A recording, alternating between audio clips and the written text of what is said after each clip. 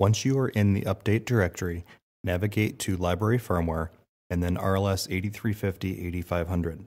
Download the most recent firmware file.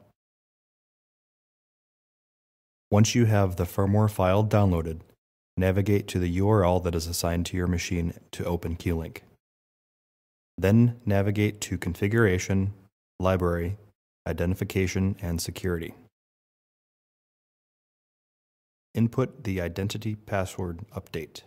Make sure the U is capitalized and the rest is lowercase.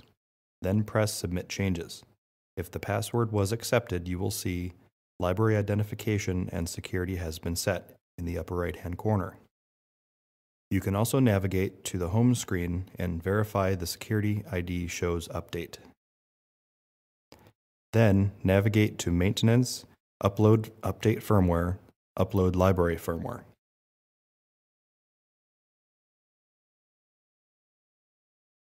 Press the Choose File button and select the firmware file you downloaded.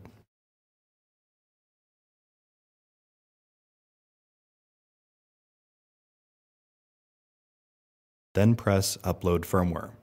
When the screen refreshes, you should see File Upload was successful in the upper right hand corner. Press the Power Cycle button. Click OK on the dialog box that pops up. You will be presented with a one minute countdown screen. Once the power cycle and firmware update have been applied, the screen will refresh and the firmware update will be active. Please note, if you are updating from much older firmware revisions, you may not have the power cycle button. If this is the case, you will need to manually cycle power from the front panel.